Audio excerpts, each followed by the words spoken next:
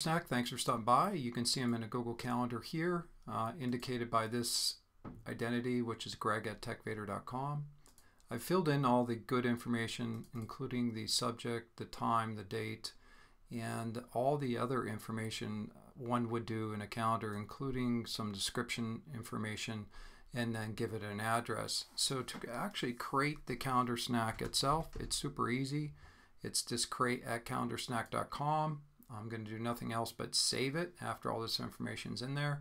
If you want to use the Google Meet or a Zoom Meet, you can do that as well. We actually process that information. I'm going to go ahead and send uh, the calendar invitation to create at calendarsnack.com and you're going to see what happens here on the right. I'm going to go ahead and move my email client over to the center of the screen and scroll up and I'm going to refresh it here just a couple times since it is a live demo. Uh, you see that there. There's the new calendar snack. Um, if I compare the calendar snack, you see that this is the information off the calendar snack and all you do to actually get the snack is click it there and you're in the calendar snack itself. I'm going to stop right there. Essentially what I just did for you was create a calendar snack. So the review is use create at hit save, and you receive a calendar snack in your inbox. That's it.